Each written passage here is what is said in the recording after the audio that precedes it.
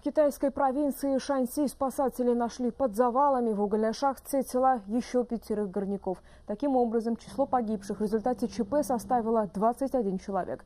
Напомню, на днях шахту внезапно затопило водой, под землей оказались заблокированы 24 горняка. Троих удалось спасти. Всего в момент аварии на шахте находилось 247 человек.